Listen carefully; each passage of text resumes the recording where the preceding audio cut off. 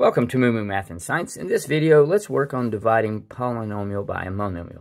We have a binomial divided by a monomial. Now, you may see this problem written sometimes like this in just a fraction form. It's basically the same thing. So let's get started. There's a lot going on here. So step one, just to simplify it and make it to where it's not so daunting, is let's rewrite both of these as fractions. So we're going to go 2a to the 8th, b to the 5th, divided by or over 2a to the 5th, b to the 10th.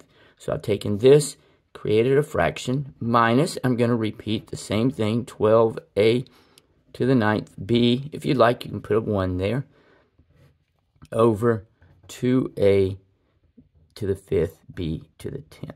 Okay, so now I have two fractions. Now I just apply the rules of division. So I'm going to take 2 divided by 2, that is 1.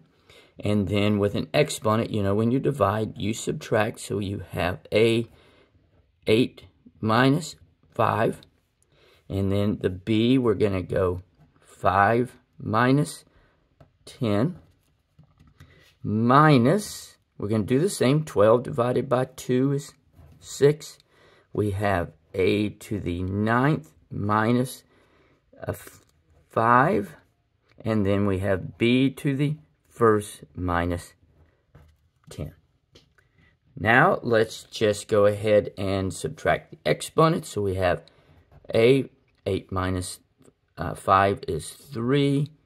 And then 5 minus 10 is negative 5 minus 6. Then when we have A, 9 minus 5 is 4. And B, 1 minus 10 is a negative 9.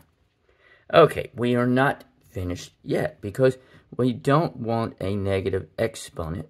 So we're just going to go A cubed over B to the fifth minus 6, a to the fourth, and we're going to move this to the bottom, b to the ninth.